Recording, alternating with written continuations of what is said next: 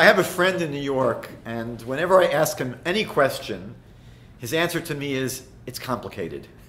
and the truth is that when it comes to many things in life, it's complicated. And certainly when it comes to many issues in Judaism, it's complicated. Uh, there are rarely simple answers to complicated questions. Uh, when it comes to the topic of alternative medicine, one of the problems is it's simply not simple to define what we mean by alternative medicine. There's an incredibly wide range of healing practices that are today understood to be alternative, but what does that mean at all? We know that in Jewish thought, we believe that all healing ultimately comes through God. That's what we believe as Jews. So, really, what difference does it make whether healing comes from a health practitioner who is officially sanctioned and recognized by local authorities or by someone who's not officially licensed to practice some form of medicine. I mean that you could say alternative medicine is medicine practiced by people who are not licensed as doctors. But ultimately, not even the doctors that we go to are the source of our healing. So, what difference does it make? However, most societies, we know, have formal bodies that certify whether a doctor is qualified. And our Code of Jewish Law, the Shulchan Aruch, certainly discusses this concept and says that really we should only be treated by doctors who are officially sanctioned by the community. That's what our Code of Jewish Law seems to say. That really you should go to doctors that are officially sanctioned by the community and that people who administer treatment that are not officially recognized, those practitioners are subject to being sued and having to pay damages if their treatments don't work, which is not the case if you go to an established sanctioned doctor and their therapy doesn't work. Obviously, we're not dealing with a case of overt malpractice or incompetence, but the, the Code of Jewish Law seems to be assuming that if you go to a recognized doctor, there are no guarantees. And if their treatment was done according to standard practice and it doesn't work, you're not given a guarantee that their treatment should work, and so you have no recourse in the courts.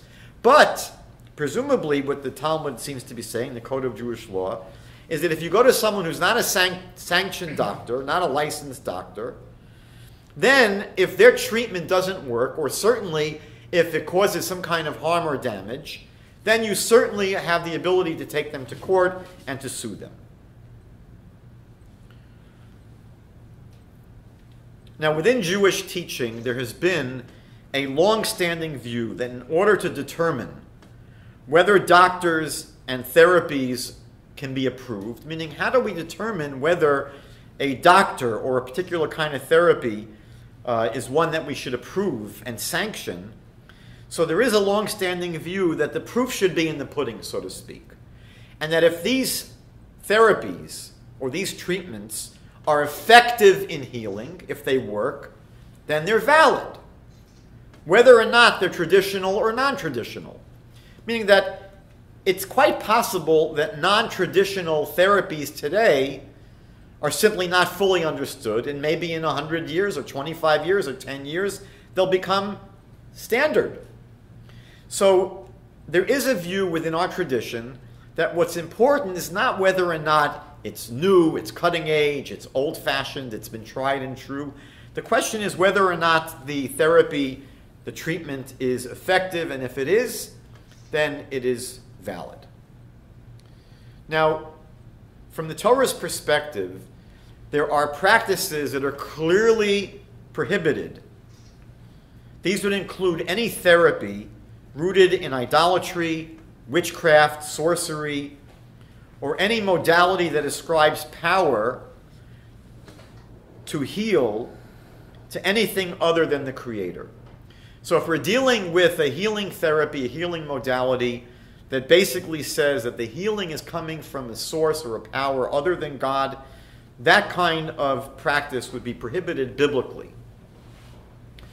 the Talmud discusses other kinds of practices that are not outrightly idolatrous, but they seem superstitious or nonsensical. And these are referred to as Darkei Emori, the ways of the Amorites. And there's dispute in the Talmud about these kinds of practices. Rav Meir seems to permit such practices, and the sages seem to prohibit such practices. How is this dispute resolved?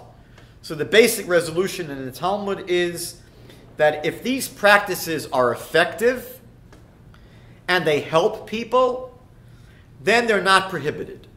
But if these are practices that are not really effective, then they are prohibited as Amorite practices. That becomes, again, the cutting edge of determination. Now, in modern times, there is really no clear consensus among rabbinic scholars in evaluating many of the healing modalities that are popular today.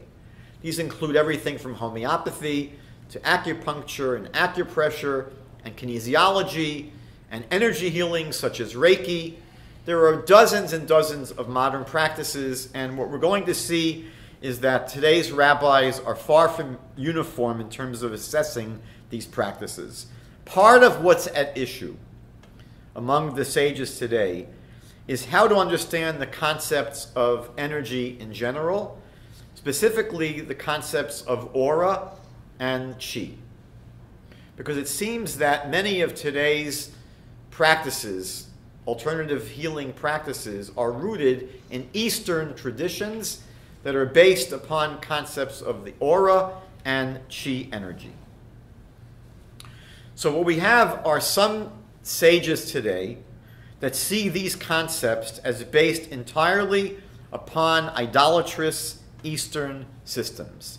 They say that these concepts are rooted in idolatrous pagan Eastern religions, and that this universal energy is viewed as problematic because, according to this view, according to this restrictive view of these rabbis, they understand that in the East, this universal energy is seen as having a kind of will of its own, a consciousness of its own, that is independent of God that has the ability to benefit us or to harm us. And therefore, this approach sees these ther- therapies that seek to control this energy as problematic because they are done through techniques derived from occult or idolatrous forms. On the other hand, there are other authorities who believe that this view of auras and energy is really based upon a misunderstanding. These authorities, who are more permissible, permissive, insist there is nothing at all idolatrous or insidious about these concepts, and that they are simply natural forces similar to gravity or electricity. And these permissive scholars actually point out that these are ideas, ideas of aura and energy, are mentioned by numerous respected medieval Jewish authorities. They actually have their roots not exclusively in Eastern religions, but we found these we find these ideas as well in Jewish sources. So we have today basically two views, and it's interesting that in the past several years, two important books have come out uh, by respected rabbis. One is a very, very large book, several hundred pages, that goes through numerous, uh, what we would call alternative healing modalities today, and essentially takes a very permissive view and, and overcomes all of the potential objections by other rabbis.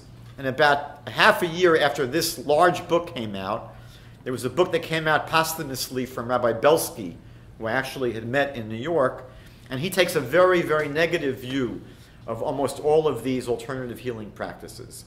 But I will conclude by saying that even according to those who permit the use of such techniques, they would say, for example, Reiki, they would say that if the practitioner is incorporating anything problematic, such as the invocation of angels in terms of their healing, um, then it would be prohibited anyway.